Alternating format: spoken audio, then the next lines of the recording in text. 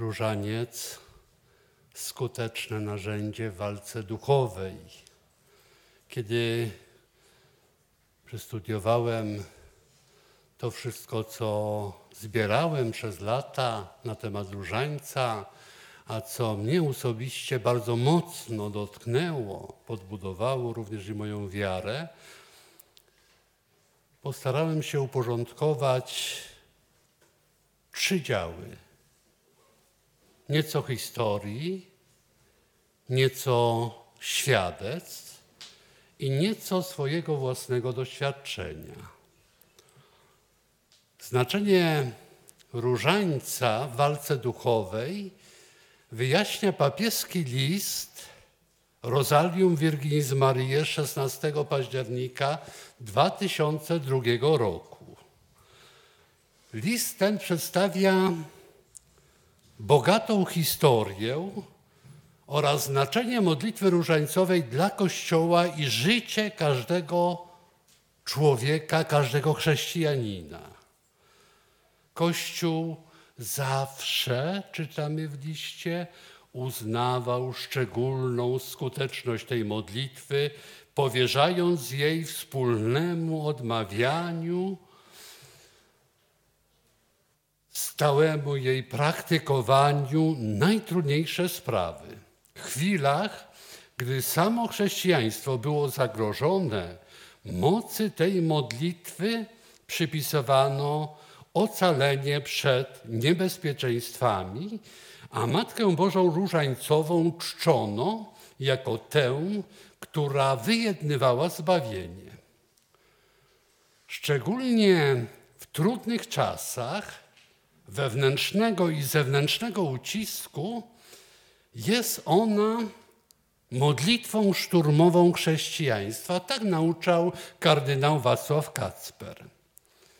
Fatimie i w innych objawieniach Matka Boża polecała codziennie odmawiać różaniec jako skuteczną broń w walce o zbawienie dusz.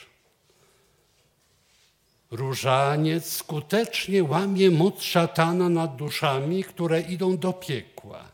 Nic zatem dziwnego, że ogromną i tajemniczą moc różańca potwierdzają święci, szczególnie ci święci, którzy z szatanem walczyli osobiście. Święty Ludwik Maria Grignon de Montfort pisał Zdrowaś Maryjo dobrze powiedziane z uwagą, pobożnością i uniżeniem według świętych jest wrogiem diabła, który zmusza go do ucieczki, jest młotem, który go przepędza, uświęceniem duszy, radością aniołów, upodobaniem Maryi, pocałunkiem czystym i czułym, który się jej daje. Według świętego Jana Bosko, różaniec jest przedłużeniem Zdrowaś Maryjo, którym można uderzyć, zwyciężyć i zniszczyć wszelkie piekielne moce. Święty Ojciec Pio, nieustannie atakowany przez szatana, atakowany także fizycznie, pewnego dnia powiedział o różańcu tak. Szatan dąży do zniszczenia tej modlitwy, ale nigdy mu się to nie uda. Jest to modlitwa tej, która triumfuje nad wszystkim i nad wszystkimi. To ona nas jej nauczyła, tak jak Jezus nauczył nas Ojcze nasz. Radził też, trzymajcie zawsze w swojej ręce broń Maryi a zawsze i wszędzie odniesiecie zwycięstwo nad piekielnym wrogiem. Przewodniczący Międzynarodowego Stowarzyszenia Egzorcystów, ksiądz Francesco Bamonte pisze, w moim doświadczeniu egzorcysty zorientowałem się, że demon żadnej modlitwy pozaliturgicznej tak nienawidzi, nie lęka się jej i unika jak różańca. I tę opinię potwierdzają wszyscy egzorcyści z całego świata. Za twórcę różańca uważa się świętego Dominika. Pierwsze odkrycie, którego dokonują studiujące historię Dominikanów osoby, to głęboka świadomość zakonu, że głoszenie Ewangelii i zapobieganiu, że głoszeniu Ewangelii i zapobieganiu najprzeróżniejszych błędom musi, tak jak to było za czasów apostołów, towarzyszyć modlitwa i pokuta. O tym przypomina święty Dominik, który jako pierwszy założył kontemplacyjny klasztor dominikanek i w czasie, gdy bracia mówili ludziom o Bogu, siostry mówiły Bogu o ludziach. Święty Dominik wkładał w kaznodziejstwo nie tylko swoją osobistą fascynację wspaniałością i atrakcyjnością Boga, ale własne kazania przeplatał modlitwą Zdrowaś Marii. Łączył on rozważania z zaproszeniem Matki Najświętszej, by z nami za nas się modliła. Autor nieznanego rękopisu z roku 1328 ujmuje to w słowach, że jego modlitwy były połączeniem rozmyślania z powtarzaniem. A myślą przewodnią tego manuskryptu jest, że święty Dominik ze swoim zakonem byli apostołami powiązanego w różaniec wieńca Ave Maria. Róże w wieńcach miały trzy kolory: biały, czerwony i żółty. Nasz zakonodawca posługiwał się w swoim kaznodziejstwie różańcem. I różaniec stał się dla świętego Dominika, dominikanów, oryginalną formą głoszenia Ewangelii z przekonaniem, że nie wystarczą same słowa, skoro nie będzie im towarzyszyła modlitwa i kontemplacja. Bardzo skuteczne, bo z różańcem w tle kaznodziejstwo to oryginalny pomysł naszego zakonodawcy na duszpasterstwo, który stał się własnością całego zakonu. Słynny XVII-wieczny historyk, historyk dziejów dominikańskich Malwenda zauważył, że różaniec, na którym się dominikanie opierali, jest wynalazkiem Matki Bożej. Wielki teolog dominikański Gardigula Grange, on zmarł w 1964 roku, którego przyjęto w poczet członków Akademii Francuskiej, z całym przekonaniem nauczał Najświętsza Maria Panna obiecała świętemu Dominikowi rodzaj modlitwy, do tamtej pory nieznanej, która, jak powiedziała, będzie jedną z najskuteczniejszych broni w walce z przyszłymi błędami i trudnościami. Pod jej natchnieniem święty Dominik udał się do zamieszkiwanych przez heretyków wiosek zgromadził tłum i nauczał go o misteriach zbawienia, wcieleniu, odkupieniu, życiu wiecznym. Zgodnie z tym, o czym go pouczyła Maryja, dokonał on rozróżnienia pomiędzy różnymi rodzajami tajemnic i po krótkim pouczeniu odmawiał dziesięć zdrować Mariu. To, czego nie zdołało uczynić słowo kaznodziei, dokonywała w sercach ludzkich słodka modlitwa. Jak obiecała Maryja, okazało się to najbardziej owocną formą przepowiadania. Święty Dominik, założyciel Dominikanów, to postać owiana legendami. Na potwierdzenie prawdziwości tego, że legendy mają w sobie w podtekście coś ważnego, przytacza się historyczny fakt, że szczególnie od czasów papieża Piusa V, to właśnie Dominikanie mieli wyłączność na zakładanie i kierowanie bractwami różańcowymi. I musiał istnieć jakiś historyczny powód, dla którego prawo do propagowania różańca otrzymali właśnie Dominikanie. Nawrócenie Katarów uważa się za pierwszy wielki cud różańcowy. Z pewnością wszystkie opisane cudowności można uznać za legendę, jednak pod jej barwną szatą kryją się fakty, których nie wolno ignorować. W pismach świętego Bonaventury, on zmarł w 1274 roku, franciszkanina, doktora kościoła, często można znaleźć takie oto zdanie.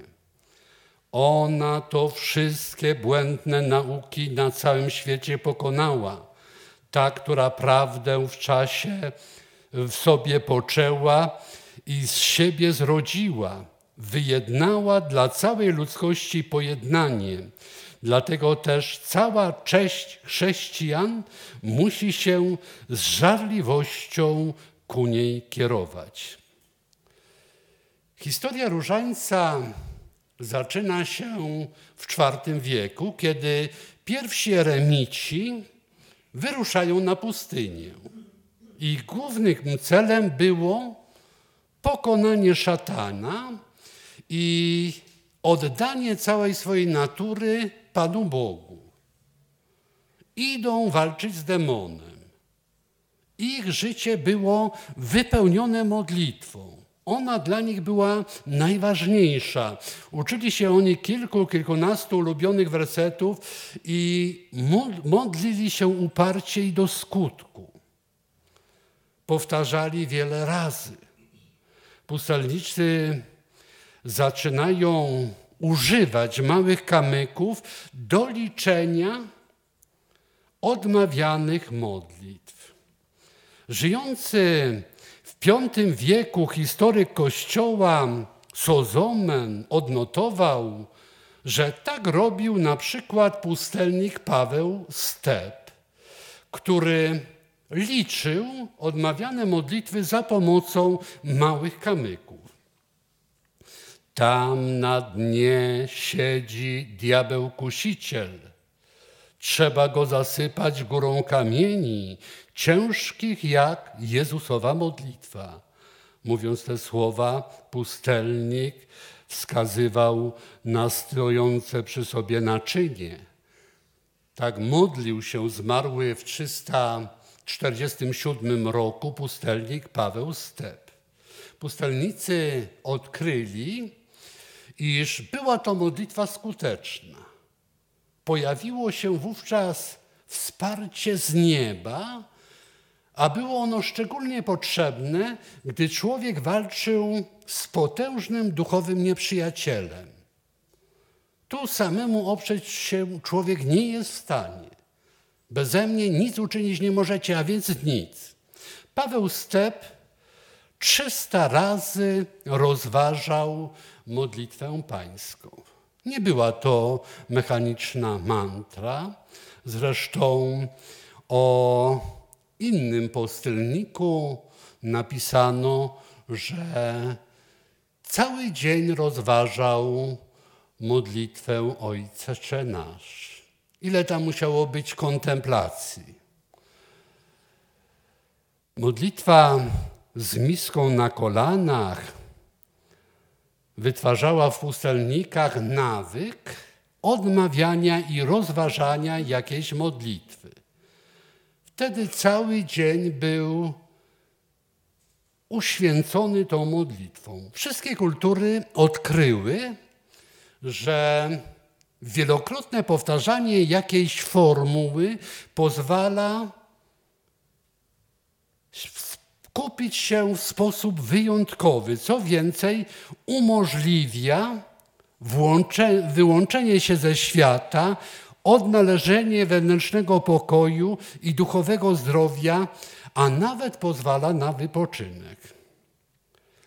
Praktyka długotrwałego powtarzania szeregu słów sprawiała, że pustelnik czy, in, czy mnich nabierał modlitewnego rozkołysania coraz większego, aż popadał w kontemplację, aż możliwy, możliwym stawało się dotknięcie tajemnicy nieskończonego Boga. Wincenty Łaszewski w książce Wszystko o różańcu umieścił tekst ze środowiska pierwszych pustelników i mnichów. A wskazuje on na to, że istnieją takie tereny świata, które są dla szatana niebezpieczne. Człowiek klęczał, wyznając swoje grzechy. Mnich myślał, dobry człowiek, ale jakże podatny na diabelskie choroby. Jeszcze umrze zarażony złem i trafi do piekła. Powiedział, szatan wciąż cię atakuje, a ty nie umiesz się obronić. Przegrywasz za każdym razem i upadasz na ziemię. Czas dać ci do ręki skuteczną broń zadał grzesznikowi pokutę inną niż dotychczas, miała być nie tylko przeproszeniem Boga za słuchanie szatana, miała diabła trzymać w bezpiecznej odległości. Rzekł, wzywaj imienia Maryi, powtarzaj słowa zwiastowania. Ona przyjdzie, by słuchać Twych modlitw, tam gdzie ona, szatan, drży ze strachu. Woli cię stracić, niż narazić się na spojrzenie jej oczu, w których widać Boga. W tym dniu tereny świata stały się dla szatana niebezpieczne. Pierwszą świętą, która praktykowała modlitwę różańcową, była Małgorzata Bawarska. Żyje ona w latach 1393 1423. Za namową spowiednika księżna zaczęła odmawiać różaniec i rozważając poszczególne tajemnice, to się przełożyło na to, że jej byle jakie życie zmieniło się. Adolf Essen odnotował w życiorysie Małgorzaty, że księżna stała się postrachem wrogów swojego małżonka, ponieważ w przypadku wojny wybierała, wywierała swoimi modlitwami większy wpływ na przebieg walk niż książę swymi wojskami. Tomasz A. W kazaniu do nowicjuszy stawia tego rodzaju pytanie. To jest wiek XV. Dlaczego właśnie modlitwa do Maryi słuchają jej chóry aniołów, których może posłać z pociechą do opuszczonych? Rozkazuje złym duchom, by nie odważyły się dręczyć tego, co się poddaje jej władzy i opiece. Lękają się złe duchy królowej niebios i uciekają jak od ognia, gdy słyszą jej święte imię. Drżą przed świętym i strasznym dla nich imieniem Maryi, które chrześcijanie wszędzie sławią na dźwięk świętego imienia Maryi poddają, jak, padają jakby porażone gromem z nieba. I dodawał, Szatan ucieka, a piekło drży, gdy mówię zdrowaś Mariu. Wiele osób owo doświadczenie Tomasza Kempis potwierdza, ale jeszcze więcej mówi o niezwykłych trudnościach, jakie napotykają, gdy rozpoczynają modlitwę różańcową. Wtedy przypomina się dokładnie wszystko. Sprawy ważne i mniej ważne, że trzeba wykonać telefon, bo mama, która cierpi, została potraktowana tak, jak została potraktowana, czy po prostu pojawia się senność. I szatan dobrze wie, ile może stracić, gdy znajdziemy w różańcu swój duchowy oręż i odpoczynek. Różaniec w czasach reformacji był szalenie potrzebny i skuteczny. Wspierał w walce z tymi, którzy chrześcijan zaczęli prześladować. Piotr Kanizjusz uczył, że umocnienia że umocnienie nabożeństwa do Matki Najświętszej jest najlepszą drogą do Chrystusa i Jego Kościoła. Dlatego też uczniowie Ignacego Loyoli niezmordowanie popierali maryjne zgromadzenia i bractwa różańcowe. W wieku XVI osobą, która szalenie wiele dla różańca zrobiła, był święty Ludwik Maria de Montfort, zmarły w roku 1716. Święty Ludwik jest autorem niezwykle popularnej książki Przedziwny sekret Różańca Świętego. Pisał on przez pozdrowienie Maryi nie będzie panował grzech. Przez zdrowaś Maryjo adorujemy Jezusa. Tytułował on Maryję pogromicielką herezji. Wszystkie herezje sama zniszczyła na całym świecie. Niech umysły krytyczne oburzają się na takie twierdzenie, to jednak pozostaje pewne, iż nie zdarzyło się nigdy, by wierny sługa Maryi popadł w herezję lub kiedyś lub jakiś świadomy błąd. Dodawał w swoich modlitwach porannych Wysławiam Cię, zwyciężczyni nad herezjami i wszystkim tym, co złe. Prowadź nas miłościwie drogą prawdy.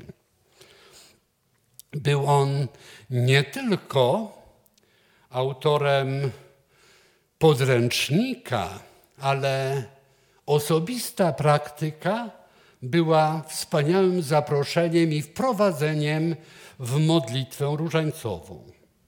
Papież Pius IX, to są lata 1846-1878, został zapytany, który ze skarbów Watykanu jest najcenniejszy i wówczas to sięgnął on do kieszeni i wyciągnął różaniec. Trzymając go wysoko nad głową powiedział, oto najwspanialszy skarb Watykanu.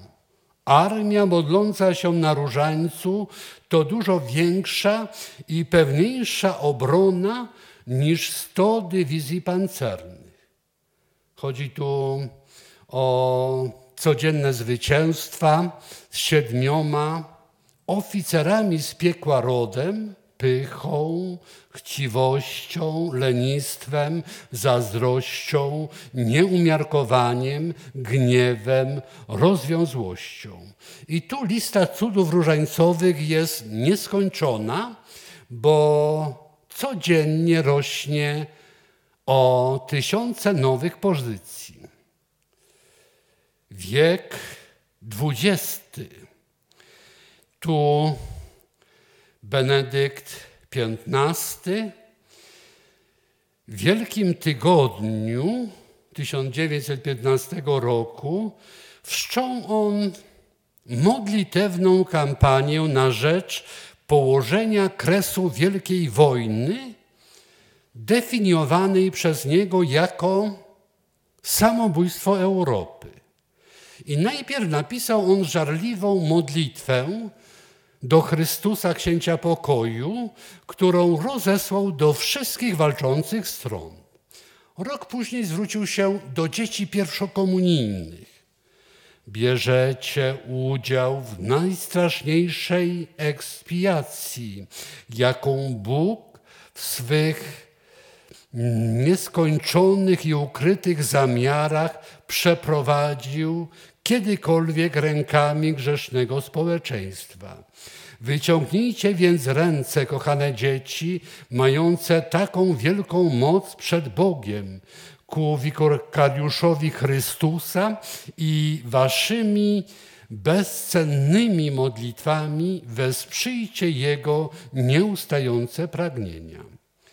Niebo odpowiedziało na wołanie Benedykta największym w historii objawieniem różańcowym. Otóż w ostatnim dniu maryjnej nowenny o pokój, rozpoczętej 5 maja 1917 roku w Fatimie, ukazała się Matka Najświętsza i powiedziała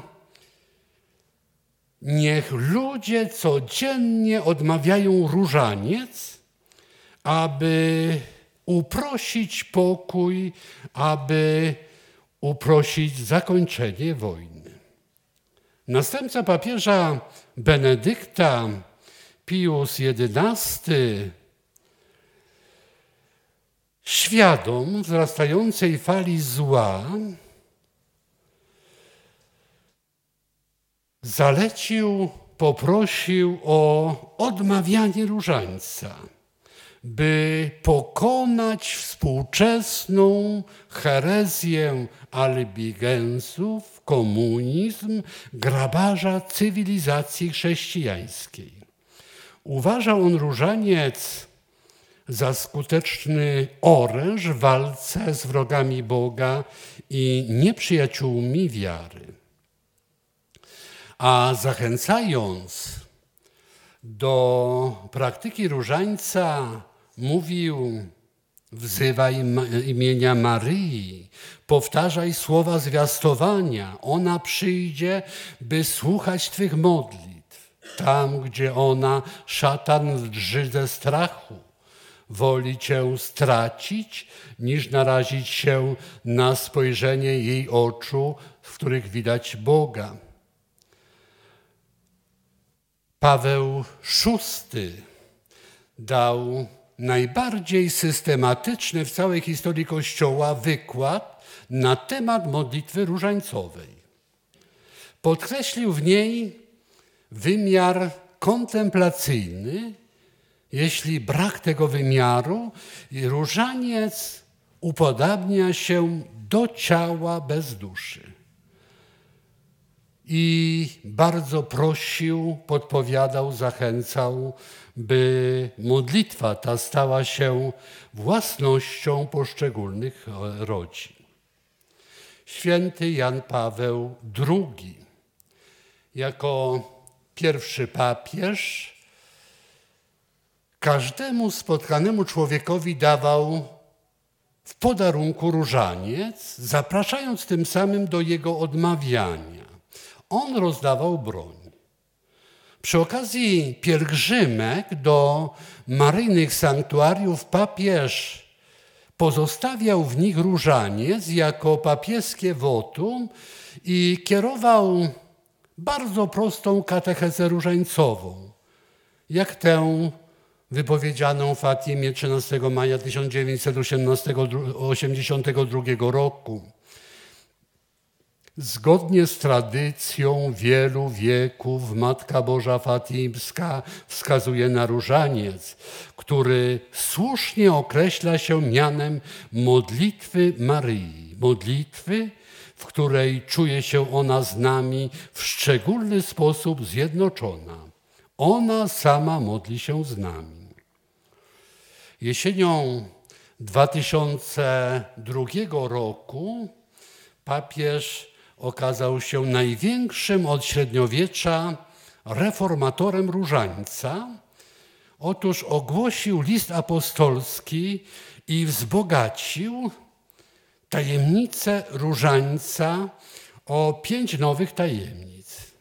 Zanim zaproponował to, w swoim dokumencie złożył głęboki ukłon w stronę zakochanych w modlitwie różańcowej ludzi.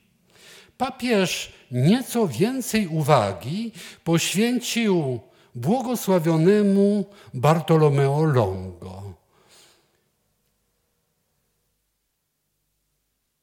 Apostoł, który do niedawna był satanistą, stał się apostołem różańca, ponieważ miał spotkanie we, we wnętrzu swoim, spotkał się z Bogiem, którego odkrył i właśnie wtedy usłyszał słowa, kto szerzy różaniec, ten jest ocalony.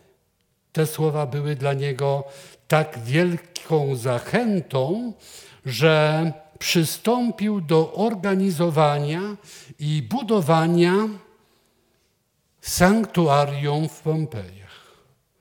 Różaniec, tak jak rok liturgiczny, mówił błogosławiony Bartolomeo Longo, pozwala nam kontemplować życie Jezusa i Maryi, umożliwia nam to, byśmy przeszli cały rok liturgiczny.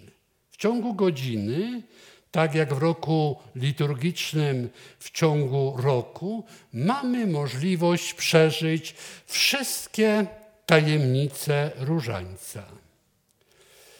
Ojciec święty Jan Paweł II 1981 roku rozmawiał z Polakami na audiencji na temat egzorcyzmu, który został ułożony przez papieża Leona XIII którego nie wolno jednak stosować osobom świeckim.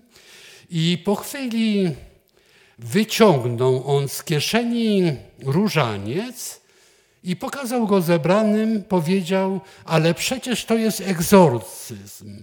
Przecież wy macie i możecie tego używać. Kiedy zauważył zdziwienie, powiedział, żebyście nie mieli wątpliwości, to ja w tej chwili nadaję różańcowi moc egzorcyzmu. Teraz może postaramy się nieco szczegółowiej przedstawić i wsłuchać w to, co na temat różańca ujawnili egzorcyści nakazując w czasie egzorcyzmów, by w imię trójjedynego Boga szatan wyjawił pewne sprawy. Otóż szatan nie tylko nienawidzi różańca i brzydzi się nim, ale panicznie się go boi. Różaniec ma nad nim władzę świadczą o, nim, o tym nadprzyrodzone spotkania z demonami. Oto kilka przykładów. Annelise Michel zmarła w 1976 roku.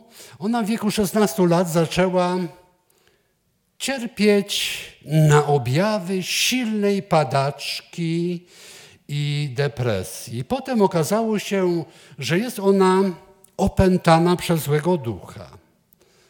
Mające miejsce podczas egzorcyzmów przemowy demona zostały zarejestrowane na taśmie i jedna z nich z 10 października 1975 roku została upubliczniona.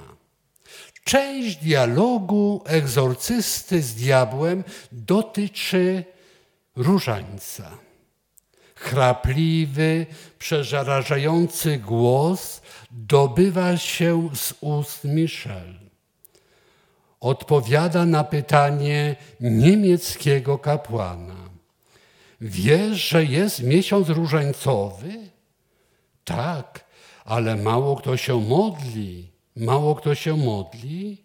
Tak, w kościele już najmniej się modlą, bo proboszczowie uważają to za niemodne. Gdyby te głupie świnie miały pojęcie. Dlaczego boisz się różańca? Odpowiedz mi, mówiąc Bogu, nakazał egzorcysta. Odpowiedz mi, mówiąc Bogu. Ponieważ on, je, ponieważ on jest mocną bronią, Zamknij gębę, tak. Przeciw szatanowi, tak, tak. I demonom, tak, przeciw nam. Muszę to powiedzieć, ale niewielu w to wierzy. Uważają to tylko za starą babską zabawkę. Na szczęście, ale te brudne świnie wciąż się modlą. To może być ich szczęście, a tą rzecz wprowadziła ją ona, tu chodzi o Michel, brudna świnia w, w rodzinę. Ojciec Dominiko Mondrone, jezuita, opowiadał, że pewnego dnia, gdy chwytał różaniec, który znajdował się na rogu biurka, demon powiedział do niego, wyrzuć tego śmiecia, jeśli chcesz rozmawiać ze mną. Egzorcysta odpowiedział śmiecia. Demon dodał powiązane kozie odchody. Egzorcysta dodał, jeśli dla ciebie to jest śmieć, to ja go całuję i na złość tobie zawiążę go sobie na przegubie dla ochrony. Widzę, że musi cię przerażać tchórzu. Ademan na to, to dla mnie gilotyna. Egzorcysta, pocieszony tym stwierdzeniem, oświadczył, tym lepiej i dziękuję, że mi to o tym powiedziałeś. Przewodniczący Międzynarodowego Stowarzyszenia Egzorcystów, ksiądz Francesco Bamonte, w książce Maria i egzorcyzmy opisuje swe rozmowy z demonem, zmuszonym do mówienia podczas egzorcyzmów. Pewnego dnia, gdy brałem do ręki różaniec, demon wyznał: To rzecz, której nie znoszę, nie znoszę. Tamten głupi starzec dobrze ją nazwał. Dał jej słuszne imię, nazwał ją bronią. Przecież jest to prawdziwa broń przeciwko nam. Na te słowa powiedziałem w imię Jezusa, kim jest ten głupi starzec, o którym mówisz? A on na to Pio, ojciec Pio z Pietrociny. Tak, odparłem, nie jest głupcem, jest inteligentny, mądry, pobożny, a demon dla nas jest głupcem. A teraz jeszcze pracuje u boku Nazarejczyka i tamtej niewiasty, która znajduje się w górze. Jak się nazywa ta niewiasta, która znajduje się w górze? Demon nie był w stanie wypowiedzieć słowa Maryja, podczas żadnego z egzorcyzmów nie nazywa jej po imieniu. Mówi o niej ta, niewiasta z góry, baba, nigdy Maryja. Krzyczał demon, jesteś mordercą, zabijasz mnie. Każdy paciorek, który przesuwasz w dłoni, dusi. Gdy modli się długo, ginę. Pozwól mi wrócić do piekła. Nie będę wam przeszkadzał, ale ty przestań. Wolę cierpieć tam za siebie i za tych, których miałem sprowadzić ziemi, niż znosić ten straszny ból.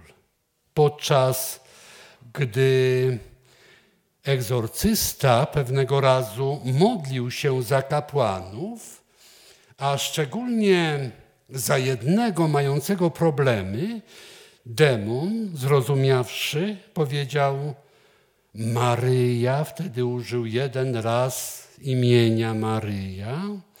Maryja krąży jak mucha wokół kapłanów. Nigdy się nie męczy, aby tylko ich ocalić. Ucieka się do wszystkiego. Demon innego razu wybuchnął. To imię sprawia, że piekło drży ze strachu. Demony miały jeszcze, wypowiadały jeszcze inne słowa, kiedy każdy paciorek tej koronki, na której się modlisz, to dla nas chłosta, pali nas. Gdy kontemplujecie tajemnicę tej koronki, źle ze mną, to cięgi, różaniec wyrywa mi wiele, wiele dusz, bo jest jej, bo należy do tamtej. Gdyby ludzie wiedzieli, że mają w zasięgu ręki taką broń, siedziałbym spokojnie w piekle. Czy wiesz, co ona robi, gdy wy odmawiacie ten łańcuch? Ona bierze waszą dłoń, wychyla się do nieba i chwyta dłoń waszego Boga. I poprzez ten łańcuch, tu ponownie klnie, zbliża te dwie dłonie, by się dotknęły. A gdy się spotykają, ona się raduje, klęka i modli się. Tylko niewielu może tego doświadczyć, ponieważ ludzie wielokrotnie wyrywają się z dłoni tamtej, bo nie chcą tego robić, nie chcą tego robić przeze mnie, który jestem ich Bogiem.